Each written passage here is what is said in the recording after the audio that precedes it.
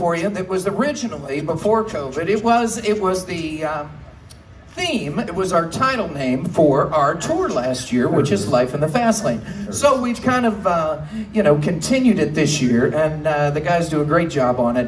It's a little something by the Eagles called Life in the Fast Lane. Thank you. That's much better.